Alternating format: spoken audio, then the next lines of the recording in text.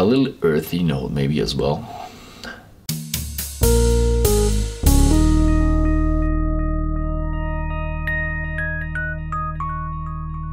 Hello and welcome to whisky.com, where fine spirits meet.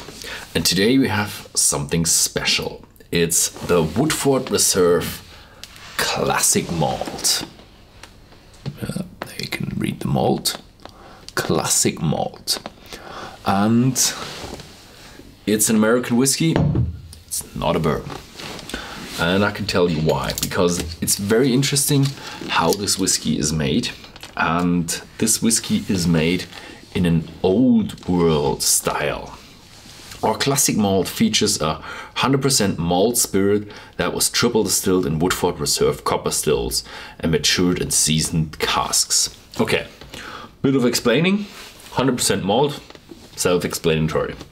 The copper pot stills of Woodford are pot stills from uh, Scotland, so after they actually designed in, yeah, similar to Auchentoshan triple distilled very few distillery do that and matured in seasoned casks. And by that, they don't mean that they use the normal casks that have uh, the seasoned white oak um, that they use for producing the normal barrels for their bourbon and other whiskies.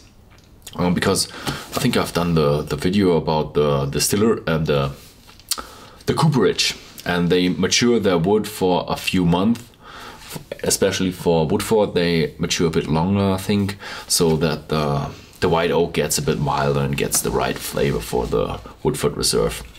But they don't mean that, they mean something different. Seasoned casks, they mean that they have already used the casks. They've used the casks to make bourbon. You have to use fresh casks to make bourbon, and then they use it for this whiskey. Therefore, not bourbon. Um, also, there's no corn in it, 100% malt.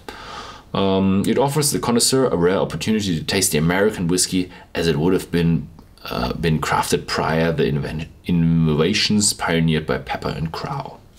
Okay, so this is a very very old world styled whiskey. Means we have distillation like like in Scotland.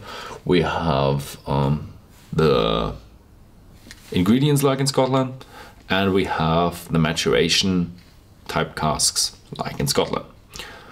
And the only thing they don't quite have is the country because it's uh, it's made in Versailles, Kentucky, USA.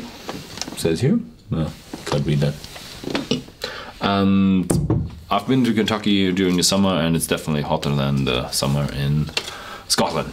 But if they would have, I don't know where the casks come from, if they've been stored in the very bottom of the the warehouses, then they would pretty pretty much be similar to what they produce in Scotland. Okay, much said about the whiskey, and what's most important is the taste. So, let's have a try. It's 45.2% uh, alcohol by volume so no need for dilution. That's about 90 proof. And you can also already see it's different to bourbon because color. So um, it's not bourbon, so technically it could be colored, but I don't think it is colored. I think they they did that deliberately that it is um, not as dark because they want to see show you look we used seasoned casks and that's what you get from seasoned casks a lighter spirit. Oh yeah. Definitely grain but the stem is still attached so you get grass you get hay that really reminds you just walking through through a normal what do you call it? a not cornfield, uh, barley field, and yeah, definitely grassy. A little earthy note maybe as well.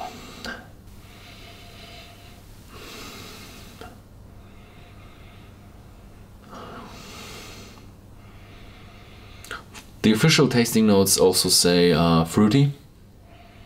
I can't find that. I would rather say heather, honey. Hmm? Yeah. So very very different to what you expect from American, from typical American spirit. Definitely not a bourbon.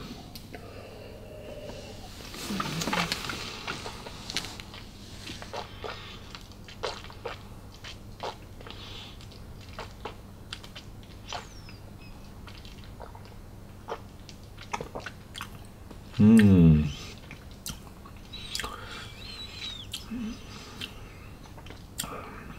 Yep, more straightforward because you don't have that much vanilla around it. It's a bit more harsh, and you have a scent of honey, floral, flowery, grain. Hmm. It's a good mixture between dryness and, and mouth-watering. I would say on the side you have mouth-watering, and in the center it's dry. So mm, it's a good good balance of, of mouth feel. Uh, that that is really cool, and and the the tastes you have are very delicate. Um, maybe I'm missing some stuff.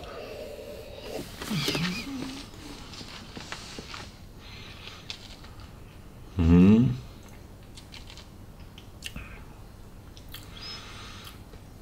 It's hard to compare it to anything. You definitely can't compare it to anything made in Kentucky. You cannot compare it to a Speyside either because um, I would rather compare it to a Highlander with the honey and heather. No smoke though, so definitely Nah, you can't compare it to Highlander either. It's something else. It's really something else. It's a grassy, earthy scent of honey, heather. Quite unusual for anything I've tasted so far. So, very interesting. Have a look for it. The internet says it was released in 2013. I don't know if they continued it. Um, but very interesting. And thank you for watching. If you like this video then please share, subscribe and have a nice day.